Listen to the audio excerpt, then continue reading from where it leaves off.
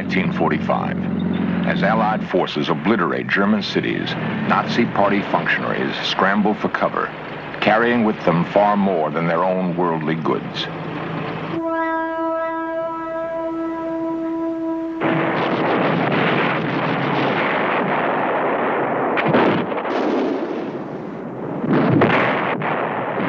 From D-Day, the 6th of June, to the complete collapse of German military strength, a brief eight months had gone by. There had been little time for the looters to hide their ill-gotten wealth.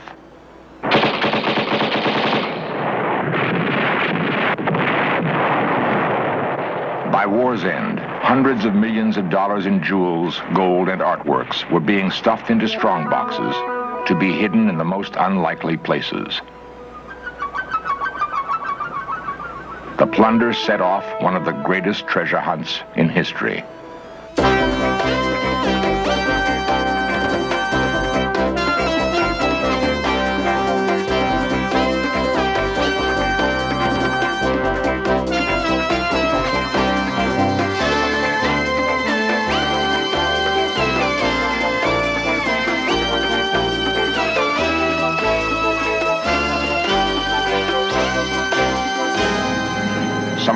Treasures were buried in an Austrian salt mine during World War II. Some were recovered. Many remain unfound to this day.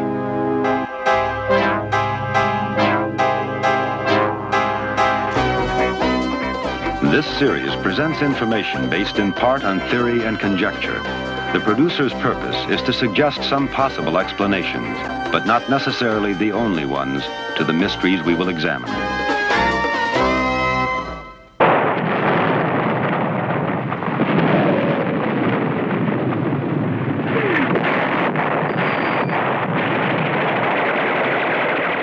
From the east, Russian forces hammer Berlin in the last days of World War II.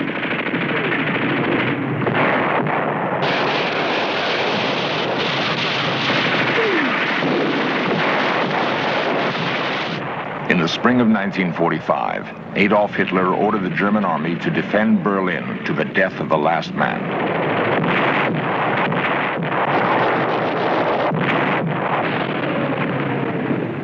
Russian soldiers sealed off Berlin as American troops mopped up the scattered pockets of German resistance east of the Rhine River. In the closing days of the war, every foot of land was paid for with a life.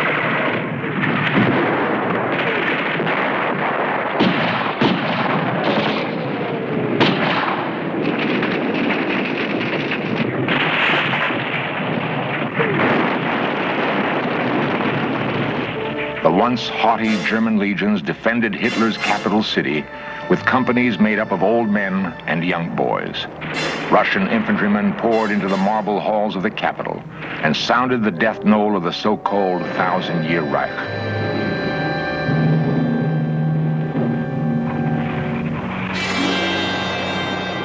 Even as the Allied armies were writing an end to the Third Reich in Berlin, Hitler's henchmen were scurrying to save themselves. Men like Martin Bormann, the architects of Nazi power for a dozen years, weren't about to surrender or commit suicide as their leader had done. They had access to the plunder of Europe gold bullion worth hundreds of millions of dollars, and priceless works of painting and sculpture. They snatched what they could and ran for their lives, some to be caught later, others never to be seen again. Their disappearance touched off the greatest manhunt in history and the greatest search for treasure.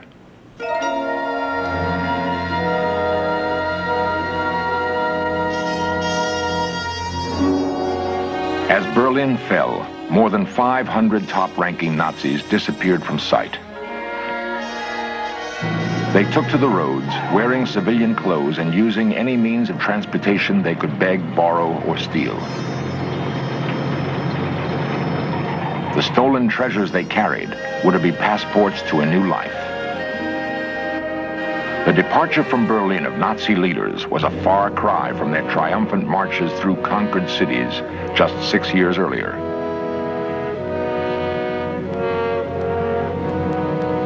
On a spring day in 1940, the streets of Paris played host to a strange caravan.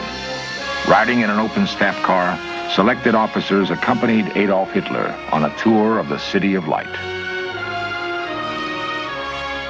In less than eight hours, Adolf Hitler would leave Paris, never to return. Himself a frustrated artist, he would order his troops to confiscate the great art treasures of private and public collections and bring them back to the Third Reich.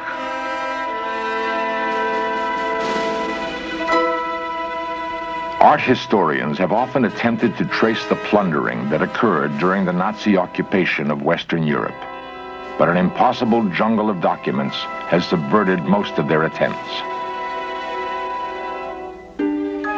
Like children playing with newfound toys, Hitler and Goring examined each new collection that was brought to Germany.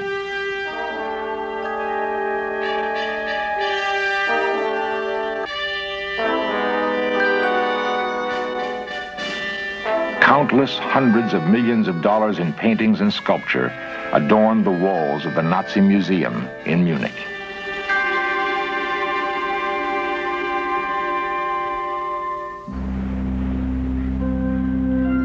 Still other great treasures were hidden in a 15th century castle called Neuschwanstein. The castle was the creation of Ludwig II, the Mad King of Bavaria. In a sense, one madman's monument had become a storehouse for the greed and fantasies of another. For a time, Ludwig's collection of cheap glass and plaster fixtures was dignified by some of the finest works of Europe's old masters. As World War II ended, American GIs were sent to the castle to recover its treasures. What they found were the works of incomparable artists haphazardly grouped with paintings of little or no merit.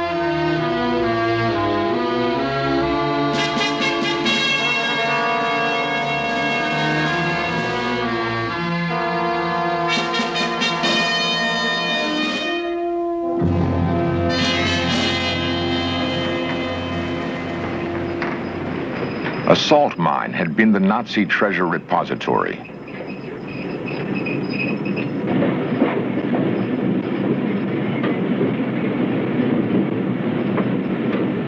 In the perfectly controlled humidifier, an elaborate vault had been created in which the paintings could be safely housed.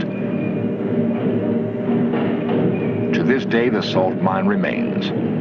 It is possible to enter each of the wood-clad rooms and conjure up images of rack upon rack filled with priceless art.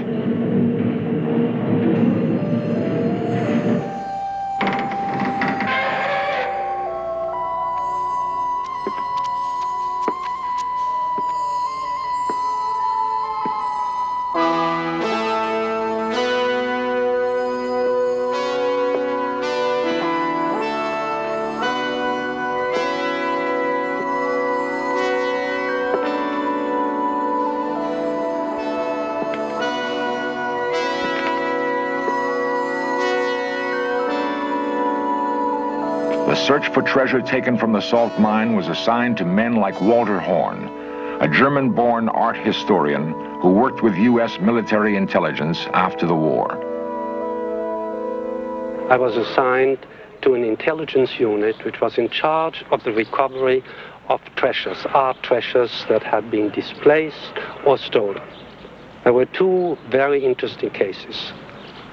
One of them was the recovery of the crown jewels of the Holy Roman Empire, five of the most important pieces of which had disappeared. The other one, psychologically perhaps more interesting because the key figure in that story was a woman, was uh, the uh, disappearance of $2 million worth of gold coins from the salt mines of Altaussee. The only thing that was known about them was that they were last in the hands of an SS major called von Hummel, who was the right-hand man of Martin Bormann, who was the right-hand man of Adolf Hitler. Right? The problem was to find a man who had disappeared six months earlier. Disappeared from a Berlin under fire. Martin Bormann left the bunker where Hitler was to die and made a frantic race for freedom.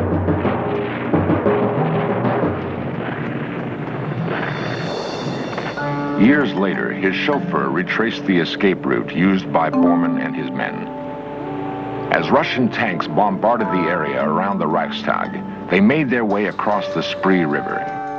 In the very center of the city, they took refuge in an underground train station. In the subway tunnel, wearing civilian clothes, they mingled with frightened Berliners, praying that their meager concrete roof would stand up under the bombardment.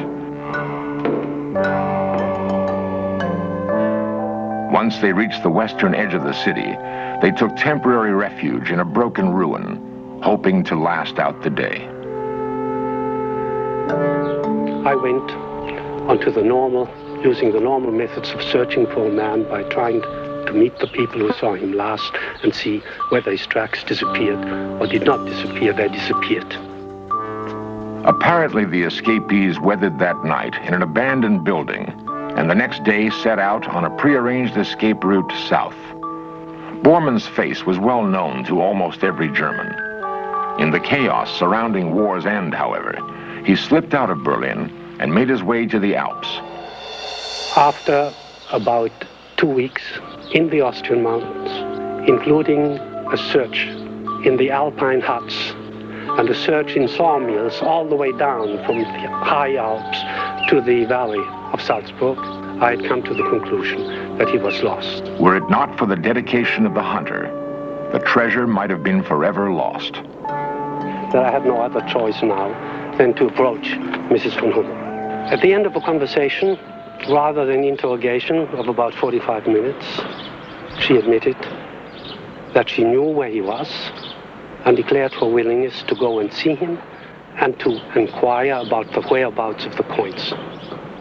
I left her alone for three days, saw her again, and she declared, Lieutenant Horn, I'm happy to report that the coins are in the hands of the Prince Archbishop of Salzburg. I said, this is fine, Mrs. von Hummel, my mission is accomplished. Other pieces of treasure, however, were not found and years later would become the subject of life and death struggles.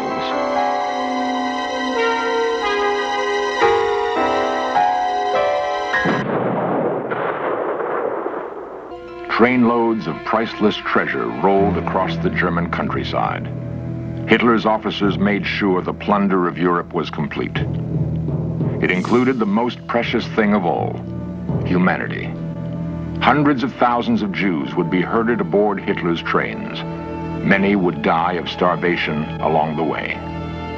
The trains leaving collection centers throughout Europe were expressions of fundamental Nazi philosophy. To be other than German was to be inferior. To be Jewish was to be despised. At the end of the line were the concentration camps. They were foul stockyards of humanity stripped of hope.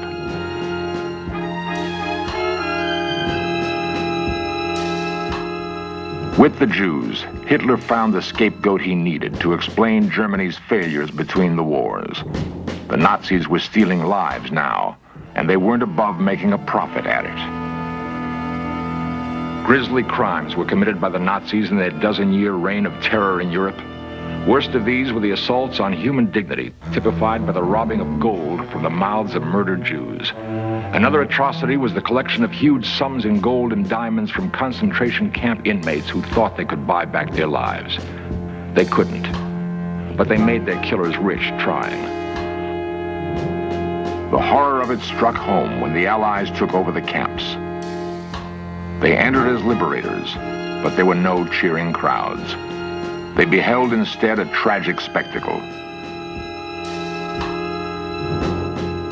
Combat hadn't prepared them for this. The ovens, Hitler's final solution. Human bones piled everywhere. Clearly, the horrors invented by the Nazis were beyond comprehension, beyond words. Treasure could be recovered, but lives could not. The task would be enormous. Perhaps it would never be completed. The great bulk of Nazi plunder would be recovered immediately after the war. Uncounted millions, however, disappeared with Hitler's henchmen. Men who, like Martin Bormann, are still at large. Among them, Dr. Joseph Mengele. He conducted unspeakable research on the inmates of concentration camps. Inmates would have sooner faced the ovens than Mengele's knife.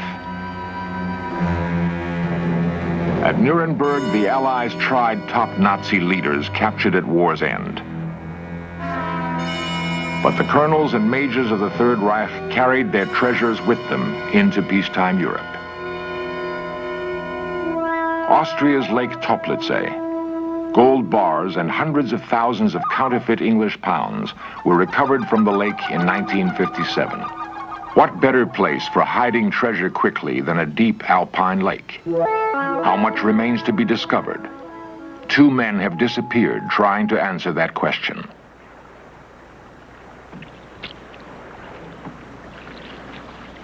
The search goes on in spite of the lake's ominous history. The Austrian government tries to discourage treasure hunters, but the lure of Nazi gold is powerful.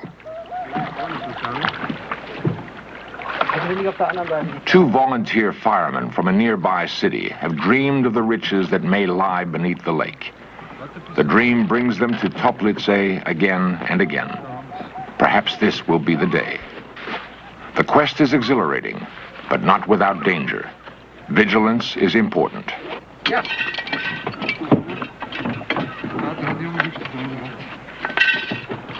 Treasure hunters are optimists, and it is a fine day for a dive.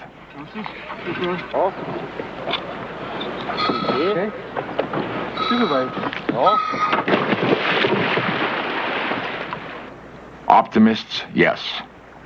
But the treasure hunters know other hunters may be abroad. The men who hid the gold were not strangers to killing. Who knows where they are now? The water is deep and cold. It is easy to see how it has kept its secret for more than 30 years. Ja, wat maken we op voor punten? Dan verzoeken we nog een The divers are spurred by the knowledge that the quest paid off once.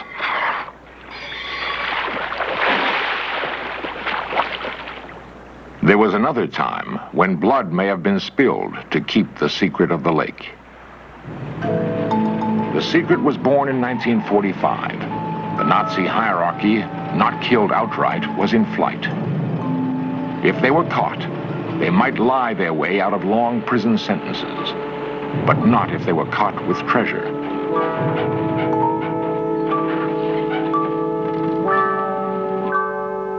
Fortunes must have been hidden in haste. Lakes along the escape route beckoned. Almost 20 years later, some of the treasure has already been found. Perhaps someone was there to make sure no more would be. Did the divers find something? Something that cost them their lives? We only know that they vanished. Some think the underground Nazi movement called Odessa was involved.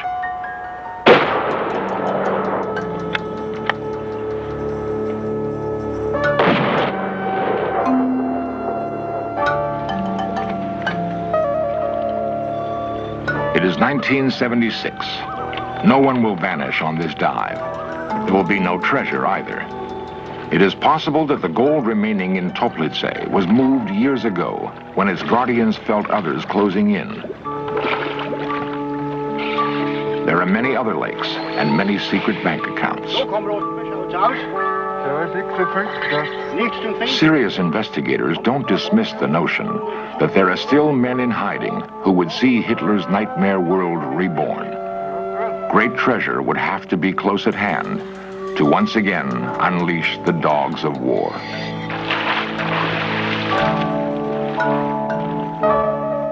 That prospect alone may be enough to drive men to continue the search for Nazi plunder.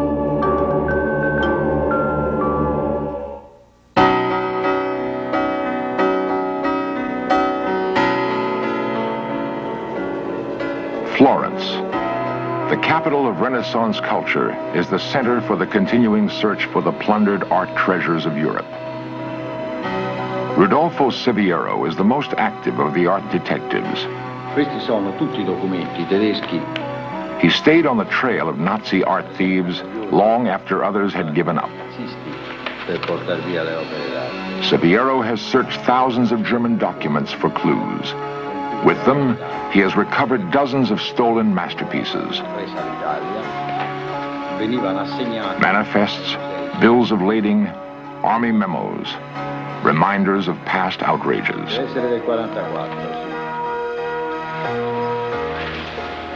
The collections of the Uffizi Gallery and the Pitti Palace in Florence have been reconstructed through the work of Siviero and his colleagues. Yet Siviero estimates that a third of Italy's plundered art is still missing. He thinks much of it is hidden behind the Iron Curtain in East Germany. One of his hardest tasks has been to root out the fake masterpieces that began showing up after the war. Museums, anxious to restore their collections, often fell victim to swindles.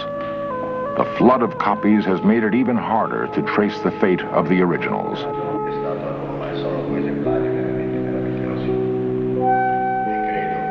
Siviero remains dedicated to restoring his nation's art heritage, no matter how difficult the task.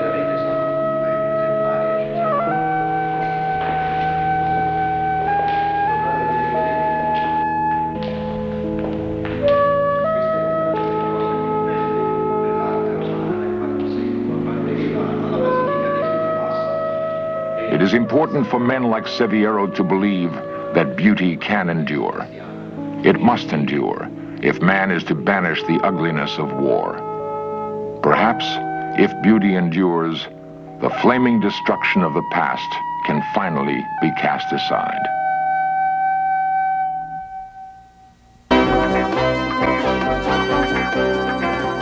Lost civilizations, extraterrestrials, myths and monsters, missing persons, magic and witchcraft, unexplained phenomena. In search of cameras are traveling the world, seeking out these great mysteries. This program was the result of the work of scientists, researchers, and a group of highly skilled technicians.